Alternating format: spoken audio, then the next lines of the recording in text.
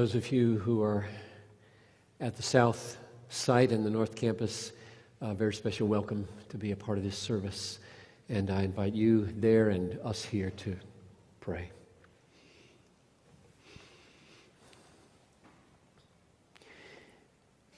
We want to see you, Christ, standing forth from this text. We believe this is the inspired word of the Apostle John and that what he speaks is meant to bring you in the 21st century to a living bearing upon our souls. You are in heaven, the God man.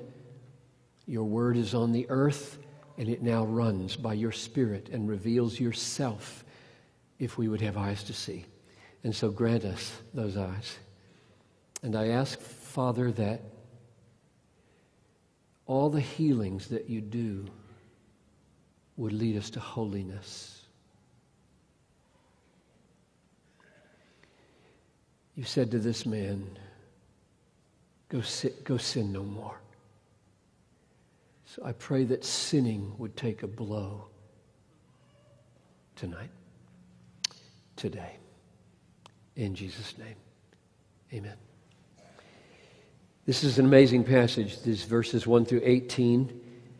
Um, it shows us about Jesus, things that uh, probably we're familiar with, and yet seeing them in new ways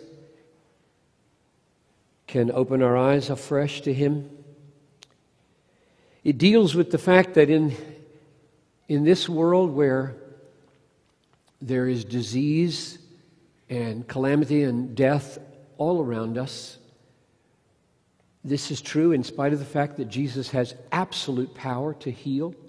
He just speaks a word and bodies obey him. So, what's the deal with all the sickness in the world if he's that strong? And so, I'm praying that uh, we'll see him, we'll understand this healing, we'll know where it's leading, and we'll have some sense of why more people aren't healthy. Let's start with the setting, verses 1 to 5. After this, there was a feast of the Jews, and Jesus went up to Jerusalem. So this is now, he's going up again. Came back from there through Samaria. Now he's going back again. Now, there is in Jerusalem, uh, by the sheep gate, a pool in Aramaic called Bethesda, which has five roofed colonnades. In these lay a multitude of invalids blind, lame, paralyzed. One man was there who had been an invalid for 38 years. So, three observations from the setting here to get us in the right place. Number one, uh, Jesus is in Jerusalem.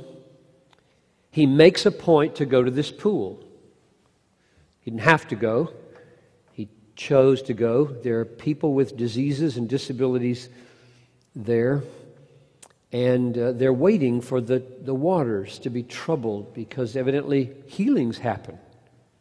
It doesn't tell us why or they happen. And, and uh, so people gather, and, and then some of them, or one of them, it seems, gets healed.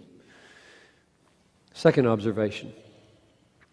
Verse 4 is missing in ESV, NIV, NASB, uh, but there in the old authorized King James Version. So, what's with the missing verse?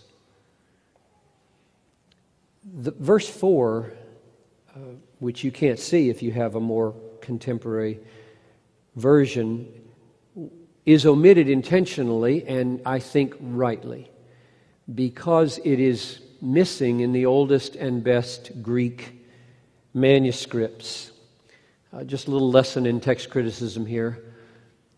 The New Testament was written in Greek, and there are extant in existence 5,000 plus manuscripts or fragments of manuscripts, which is an embarrassment of riches. There is no other ancient document, bar none, that has so many documents manuscripts, not printed versions, but manuscripts that were originally copied out to compare with one another, so that in the comparing, those who are called text critics and do this for a living can amazingly work their way back through all the comparison of these texts and their oldest versions to a very reliable version that then gets translated into various languages of the world. Now, probably what happened with this verse, and I'm not going to spend a long time on it, but I thought you'd stumble if I didn't say something like, Where's verse 4? Um, I think verse 7 is crying for an explanation that verse 4 probably was provided in a margin and then worked its way into a text as people copied it. That's just a guess. Look at verse 7. The sick man answered him, Sir, I have no one to put me in the pool when the water is stirred up. And while I'm going, another steps down before me. And if, if that's all you knew, and it is all we know, you'd say, Well, what's up? What, who stirs the water? And why is there healing? And what's going on here? And now here's verse 4. You don't, if you if you don't have the King James, you don't see it, except in the footnote, perhaps. It says uh, that the invalids were, quote, waiting for the moving of the water, for an angel of the Lord went down at certain seasons into the pool and stirred up the water. Whoever stepped in first after the stirring of the water was healed of whatever disease he had. And so now verse 7 makes sense uh, because that's there, and, and now we understand. And that may be exactly right.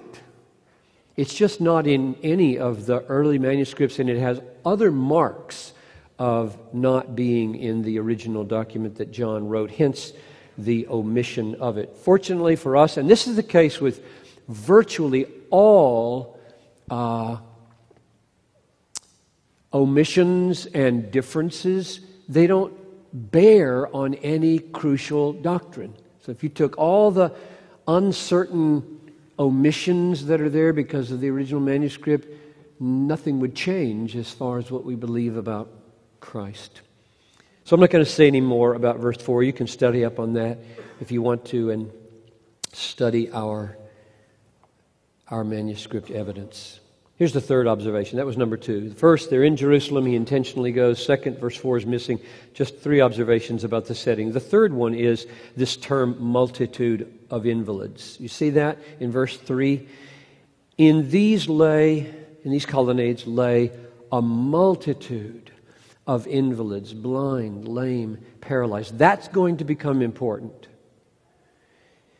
Because if you look at verse 13, it says, and this is going to be significant why he did this, it says, Jesus had withdrawn as there was a crowd in that place, large number. So you've got probably, I don't know, hundreds of sick people and probably a lot of caregivers. So Jesus has chosen to walk into a situation just packed, evidently, with people which probably highlights the uniqueness that he fingers one man and only one. So hold on to that, note it. There's a multitude there, and we'll come back to see what the implications of that are. Now, verses 6 through 9. And the question we raise here is who is this Jesus? When Jesus saw him lying there, and knew that he had already been there a long time, he said to him, Do you want to be healed? The sick man answered him, Sir, I have no one to put me in the pool when the water is stirred up. And while I'm going, another steps down before me. And Jesus said to him, Get up, take up your bed, and walk. And at once the man was healed, and he took up his bed and walked. Now that day was the Sabbath. We've, we've read these stories so many times, we, we don't have our breath taken away anymore. Believe me, he did. and so did everybody around him. First observation. I, th- I, think what John is doing here, in the way he tells this story, is he's highlighting the unparalleled knowledge of Jesus, the amazing compassion of Jesus, and the immediate sovereign power of Jesus. I think that's what's going on. So let's take those one at a time. Verse 6 When Jesus saw him lying there and knew that he had already been there a long time, he just knew that. He knows this man's situation. Without being told, he knows this man has been here a very long time. He's paralyzed, he's unable to walk, perhaps been there hoping for a miracle for year after year. Maybe when, when he was a boy, his parents brought him, and now he's, he's 38 years old, or the paralysis came later and he's older than that. But this has been a long, hard life. And there he is, and Jesus knows it. He knows this man. And I just want to linger on that for a minute because it's when you, when you hear the next two, this one becomes more precious. When you know Jesus, that is, when you are granted by God the spiritual eyes to see Him for who He is, and you now know Him, you know Him as friend, Savior, the supreme treasure of your life. That He knows you perfectly is unspeakably precious. I just commend you to think about this. To know someone, to have a conversation with someone who knows everything you're going to say before you say it. What would a conversation like that be like? Why, why, why am I talking?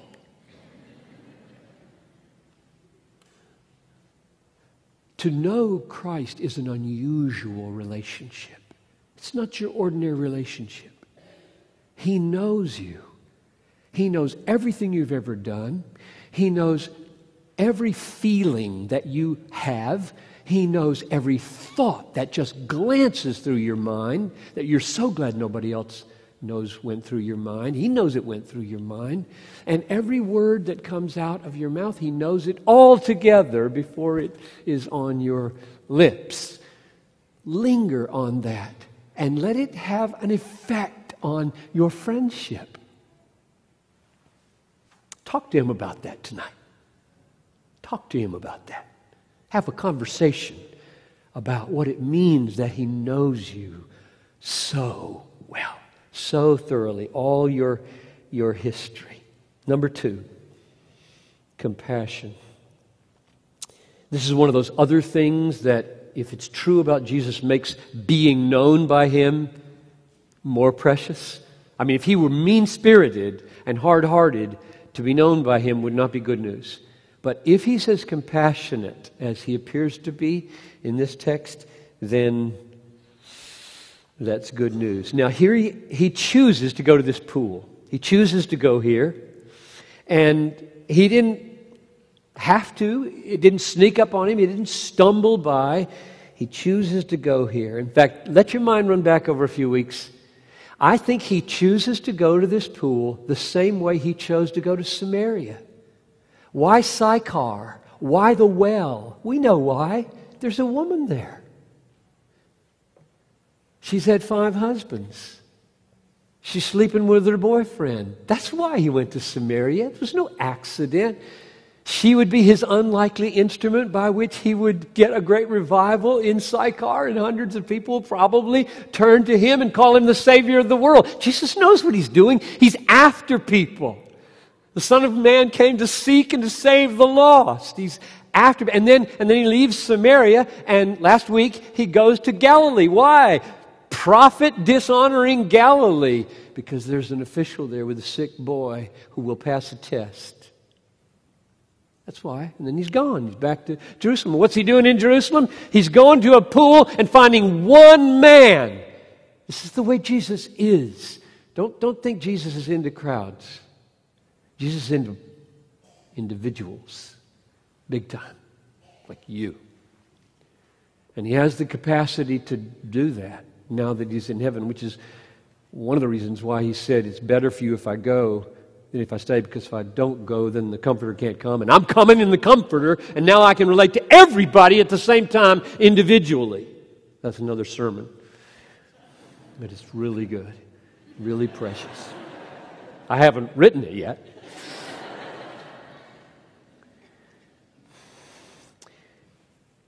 He asks him if he wants to be healed. Verse 6 Do you want to be healed? And the man doesn't say yes. He says, verse 7, and, and I think this is significant because Jesus doesn't even hesitate, he just goes ahead and does it. He says, Sir, I have no one to put me in the pool when the water is stirred, and, and while I'm going, another steps down before me, and, and the next thing out of Jesus' mouth is, Get up. Now, what's going on here? Why? He says, Do you want to be healed? The man says, You don't seem to understand. You got to get to the water, and I can't get to the water, and I've been here a long time. And I think the reason for that answer is to set us up to say Jesus felt a lot of compassion for that. When he heard that story, which he knew already, he just felt for this guy. I counted nine times. I just took, looked up this, you know, this Greek word splanchnon, splanchnizomai, which means bowels and guts. And he, he was moved, his bowels were moved with compassion in the old King James. I looked that up to see how often this happened. I counted nine times in the Gospels where Jesus is moved, moved here with compassion. Just compassion.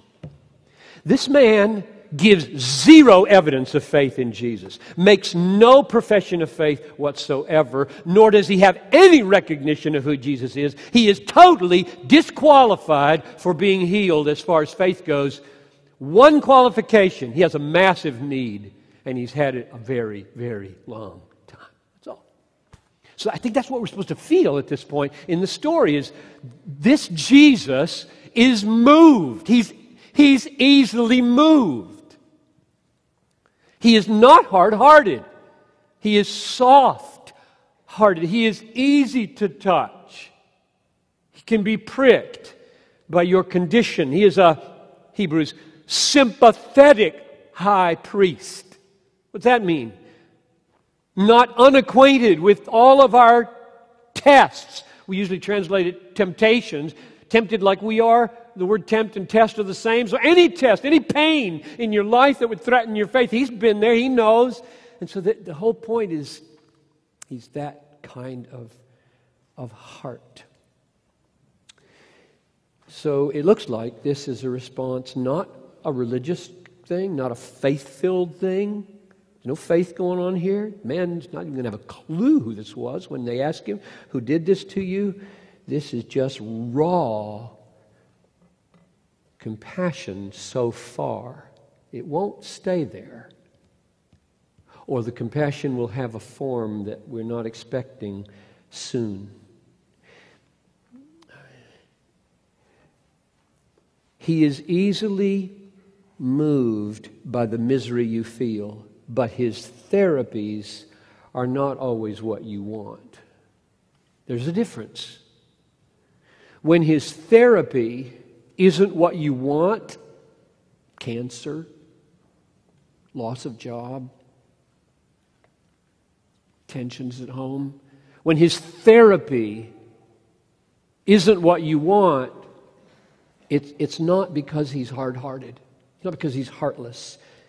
He's compassionate and he's merciful and he's a sympathetic high priest. But as every doctor or nurse or parent knows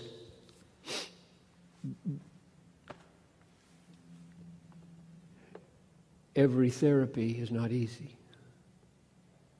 Physical therapy after an accident, long, hard recovery, making you bend your knees in ways you don't want them to bend your knees. Let's sum that up. This is what we've seen so far in these verses 6 to 9. Um, he has complete knowledge of us, He has heartfelt compassion for us, and now um, power. Look at verses 8 and 9. Jesus said to him, Get up, take up your bed, and walk. And at once the man was healed, and he took up his bed and walked. And I think the word at once, I think John, as he writes this, just loves to say that because he said it before. Remember? After the official went away, your, your son is well. You can go now. His son is 15 miles away. And when he meets the people who say, he's okay, he says, What time did it happen? Remember that last week? And they said, uh, Seventh hour, one o'clock in the afternoon. And he said, He nailed it. That's the time he spoke the word. He just speaks, and 15 miles away, cells change in bodies. And he did here as well. At once, 38 years of paralysis are over. Not just over like, I need some therapy now to get up. I'm up. I'm up and holding my bed. And I'm on my way probably to the temple because that's where he's going to be found in a few minutes, which is a good sign. This is power. This is immediate sovereign power. And he still has it. He still has it over everything, bar none, at every minute, everywhere on the planet, and in the universe. He upholds the universe by the word of his power. He speaks, diseases obey,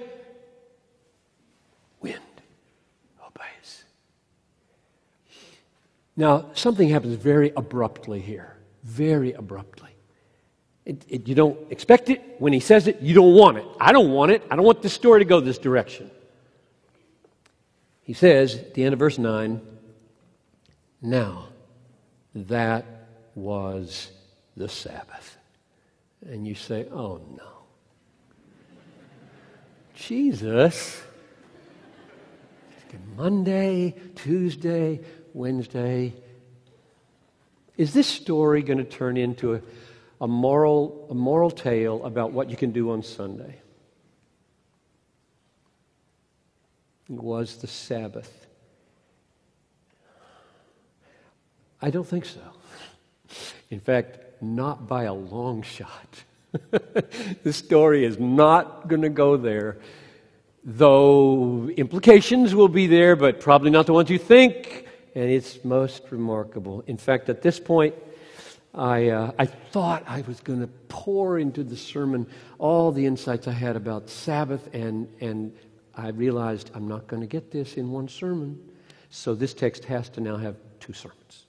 So we'll be back to this text, but we'll see some now. The answer is no, this is not going to go in that direction. This Sabbath issue, the Sabbath issue is functioning first to create some dialogue and get Jesus to him in the temple and have a little conversation go on, and then some amazing things are going to be said about God works on Sunday. But that's probably next time. Jesus knows what he has done. He has healed a man on the Sabbath. He knows this will create conflict. He's not stupid. The conflict is designed by Jesus to happen. Conflict is the furnace in which the steel of his identity is demonstrated. He's making conflict happen here by doing it on Saturday and not Monday. Could have done it some other time. So, in the fires of this conflict, his glory shines. And so, I want us to see more of why he did it this way. So, verse 10. So the Jews said to the man, who had been, the man who had been healed, It is the Sabbath, and it is not lawful for you to take up your bed. But he answered them, The man who healed me said to me, take, He said to me, Take up your bed and walk. And they asked him, Who is the man who said to you, Take up your bed and walk? Now, the man who had been healed did not know who it was, for Jesus had withdrawn, as there was a crowd in that place. Now, this is remarkable. Jesus does an absolutely stunning miracle for this man and gets out of there as fast as he can. So that not even the man who was healed had a clue who that was. Now, the question rises then is Jesus just doing a random miracle? There, I did a random miracle. Now I'm off to do something else. There was a, just a random miracle happened, and now I'm going to go teach somewhere. What's that? You do this miracle and vanish, and this man's got to go deal with it, and he doesn't even know who it was. No, it's not a random miracle, and Jesus knows what he's, he's doing. Because notice how verse 14 begins. This is a little different than chapter 9, which is very similar. The man did not find him, he found the man. Jesus is tracking him down. He walks away from him, abandons him, gets out of there because a crowd is there, and, and then he, he tracks him down in the temple. So, verse 14 Afterward, Jesus found him in the temple and said to him, See, you are well. Sin no more, that nothing worse may happen to you. So Jesus had no intention of walking away from this man and leaving him with meaningless health. A mere healed body prepared to burn forever in hell. No way. That's not our Jesus. He doesn't heal people without a reason bigger than a few years of health on the earth and then perdition. So he's pursuing this man. He went after him in the colonnade, and then to get out of there, he went after him in the temple. So notice a couple of things. At the end of verse 13, he gives the reason why he left him. Jesus had withdrawn, it says, as there was a crowd in that place. So all these sick people and their caregivers perhaps were there, and there would have been an absolute sign seeking tumult had he lingered and identified himself as the one who took care of that 38 year old or 38 year suffering paralytic. So that's the first thing. He, he moves out in order to avoid the tumult, and all these people give us that, and he disappears. And then in verse 14, he finds him and shows him what the real issue is in his healing. Afterwards, Jesus found him, verse 14, in the temple and said to him, See, you are well. Sin no more that nothing worse may happen to you. What's the issue in this healing? The issue in the healing is holiness.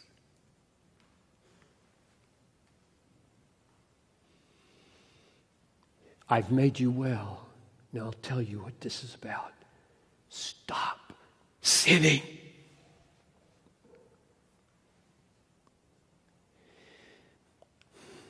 This is really important. There's a gospel pattern here that you need to see. My aim in healing your body, and the church could say, our aim in touching the neighborhood, our aim in every manner of ministry that touches the body, the mind, the family, is not an end in itself. Otherwise, we would be cruel to people.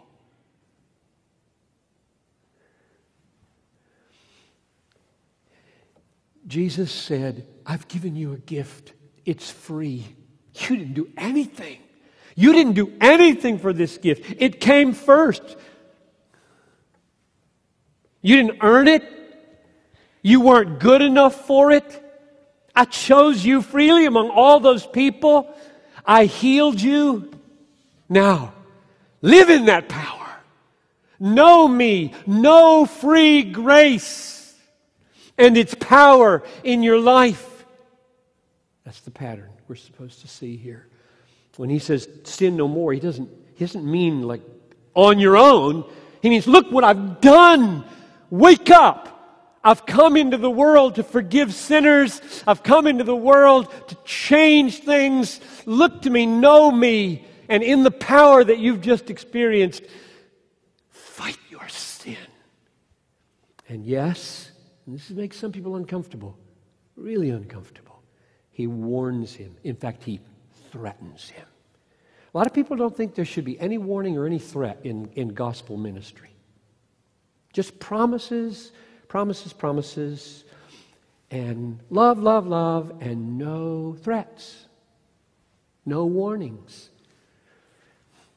Well, that's not what happens here. Jesus says, I warn you, if you turn away,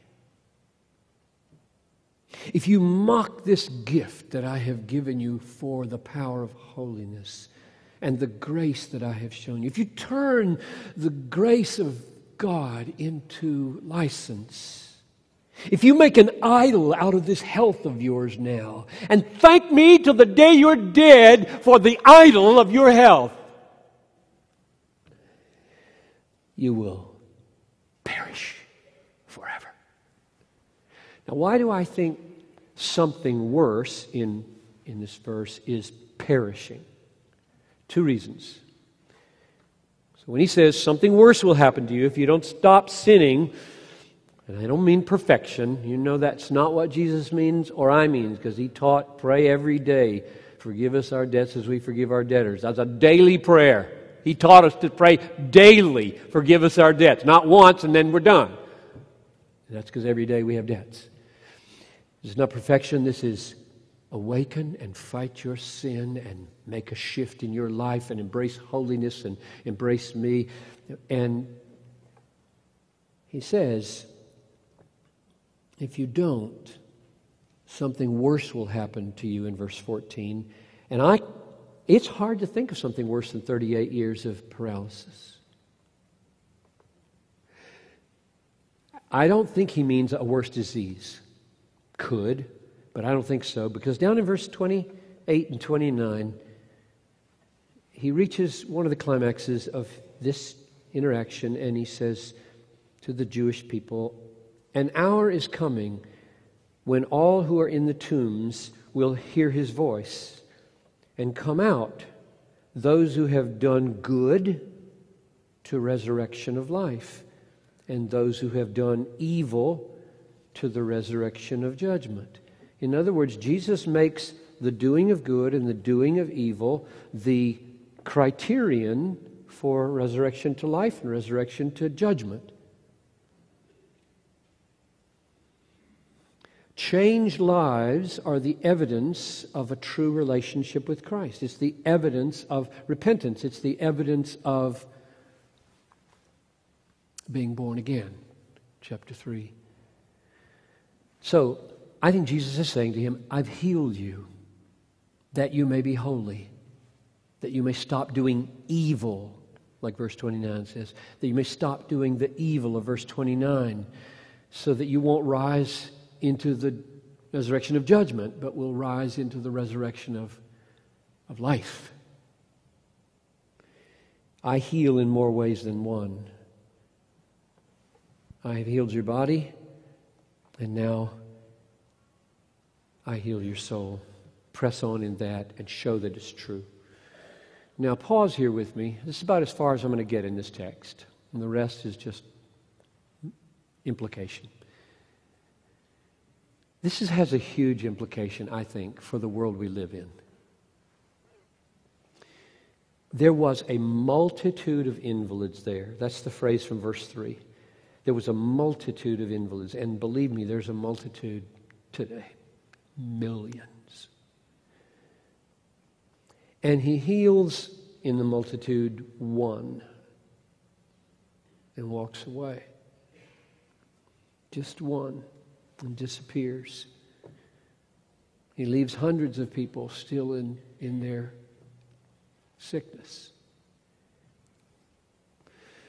And then he finds the one man that he healed, and he says, Let me tell you something.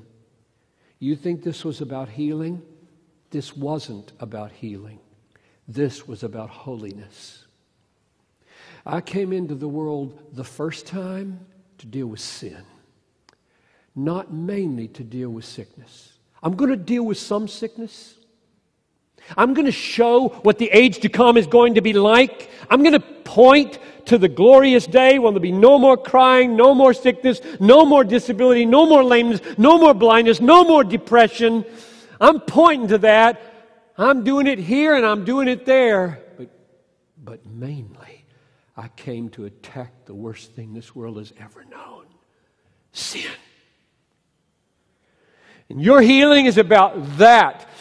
Every healing is about that. And every morning when you get up on a bright sunny day is about not sinning. Every disease you get is about not sinning. Every meal on your table is about not sinning. Whether God deals you pain or pleasure, it's about not sinning. That's what he says. I'm going to take you I'm going to illustrate with you I can heal you just like I could heal all these. And someday there will be an age in which there will be no more sickness. I have pointed to that. But right now, my agenda is to die for sins and then to send my people all over the world to lay down their lives to preach the gospel of how sins can be forgiven. Malaria is a horrible thing. H1N1 could be a horrible thing. HIV, AIDS is a horrible thing. And sin is a million times more horrible than any of them. Because its consequences are not 38 years, but 38 million ages of years. And the only reason anybody would consider helping someone with their sickness and not their soul is because they do not believe that. We will be a both and church, will we not? We will not be forced to choose between loving people in their immediate crisis and need and caring for their souls.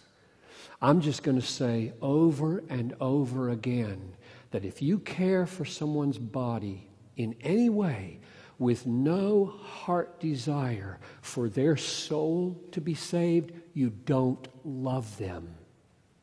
I don't care if you do it for 50 years in Calcutta. You don't love them. So the point here is that the first coming, let's get the big picture. The first coming of, of the Son of God into the world 2,000 years ago had this purpose I have come to seek and to save the lost.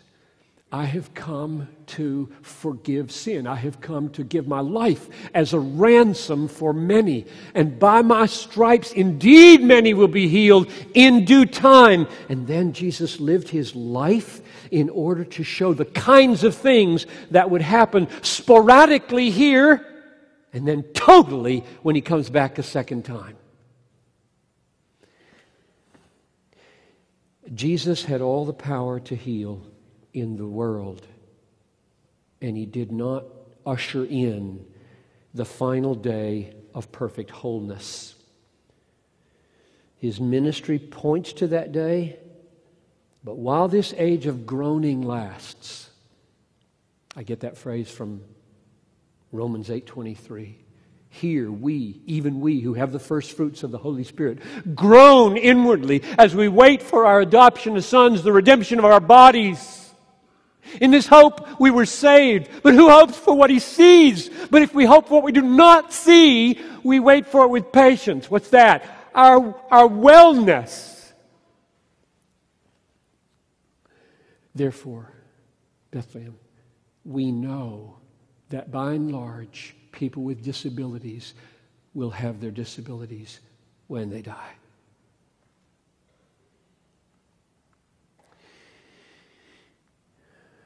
And oh, the power for holiness. In fact, think about this. I have seen this with my own eyes.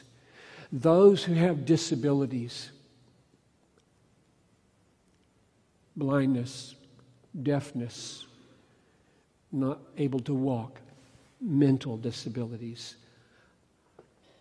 have the capacity often to run with bounds in the path of holiness beyond those of us who are well. Which is why he came. Don't judge quickly who are the blessed. I would even venture to say that the mentally ill, surrounded by loving parents and, and friends and Christians who pray for them and model Christ before them in ways you cannot even imagine or dream, are down that road farther than you think they are in holiness. So that's the big picture of Jesus finding one man, 38 years, feeling pity for him, just like I hope you do for every broken person you meet, and yet running away from the rest because he didn't come for that the first time. Then finding that man and saying, Do you understand what I've done? I want everybody to understand what I've done here. Don't sin anymore. Lay it down. I came to die, I came to heal that people might be whole with me. And then in due time, we will get our new bodies and we will be whole. Just to whet your appetite for next time, when it gets down to verses 17, 18, and it talks about Jesus saying, I am working and my Father are working. This is his answer to their question Don't you know it's Sabbath? And Jesus' answer is My daddy works on Sunday. And so do I, because we made Sunday.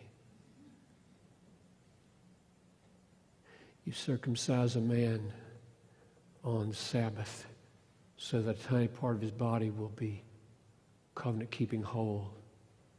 I heal whole bodies on Sunday. There's so much more to say about his, his creator rights on the Lord's Sabbath, but that's the next time we look at this. Let me close like this. May the Lord open our eyes to know Jesus personally he knows you. He's easily moved in his heart by what is oppressing you, and he has infinite power. And we do believe in miracles, both physical and spiritual. And therefore, we do pray for each other to be healed. And God does heal people here and there. And it could be that if we believed more, and expected more, we would see more. But don't ever go to the point where you say, if I'm not healed, it's because I don't believe. There are churches in these cities that believe and teach that. I prayed with a family, I'll stop with this, at the close of last Saturday's service who were here to see a dying sister in Rochester, and she goes to one of those churches. And they said, It is horrible what she's going through. Beating herself up in the last days of her life that she cannot believe. She cannot believe enough. And she will die guilty. I don't believe that. We don't believe that. Jesus left all of them unhealed to show us it's not mainly in this age about healing, Some is mainly about holiness through Christ. Let's pray. Father in heaven, you are very great, and your Son was sent into the world for the greatest work in all the world to take our sins on the cross. Our sin is the worst disease we've ever known. There's nothing comparable to the disease of sin. It damns forever and ever and ever. Oh, that we might be healed of this disease so that we as a church, by the power of grace through the love of Christ, make progress in not sinning and always coming back to the cross when we do. I ask this in Jesus' name. Amen.